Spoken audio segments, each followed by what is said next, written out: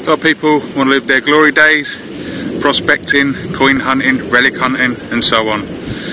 The machine has really proved itself to many people all around the world. So we're going to find out what it does on one of my sites. I'll shout the numbers and you'll see the depths. So let's crack on. Cheers. Jumping around like the iron grunt. Jumping 60s, 70s, 80s. I Don't know if you can hear that, sorry the wind.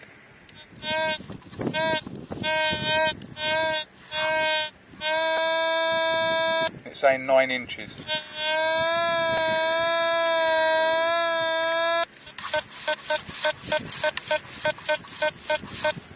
Predominantly good tone.